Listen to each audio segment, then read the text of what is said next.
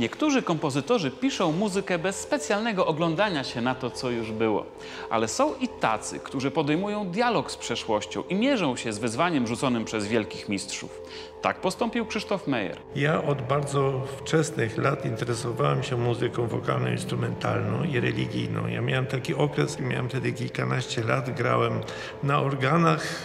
Bach był właściwie dla mnie wszystkim. Krzysztof Meyer to przede wszystkim wielki muzyczny erudyta.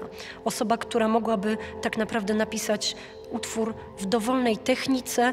Osoba, która zasłynęła między innymi tym, że napisała symfonię w stylu Mozarta i rzeczywiście y, praktycznie nie do odróżnienia od stylu kompozytora. Chciałem być kompozytorem, o czym już wtedy wiedziałem. Poznałem Hamol i pomyślałem wtedy, pamiętam to jak dziś, i właściwie no po co mam się zajmować kompozy kompozycją? Nic z tego i tak nie będzie. No ale człowiek nie zawsze jest rozsądny i jednak zdecydowałem się na komponowanie.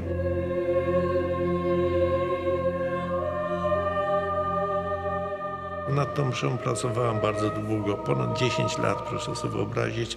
I to były trzy różne wersje. Najpierw ona była tylko na chór i organy, potem była na chór, organy i mały zespół, a potem zrobiłem ostateczny kształt na chór, organy i orkiestrę symfoniczną.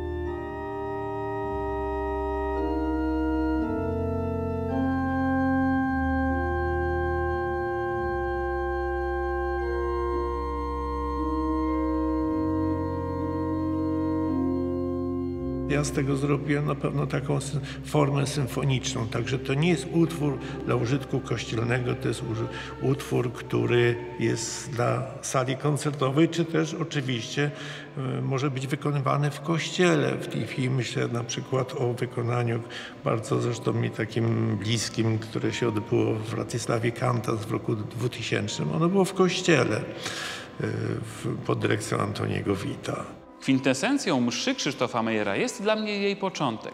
Oto do stojących dźwięków organów dołącza nagle śpiew, spokojny i stonowany.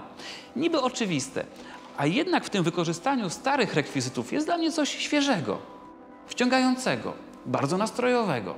I tak jest właściwie do końca. Krzysztof Mejer buduje ze znanych rekwizytów nową, własną wizję mszy.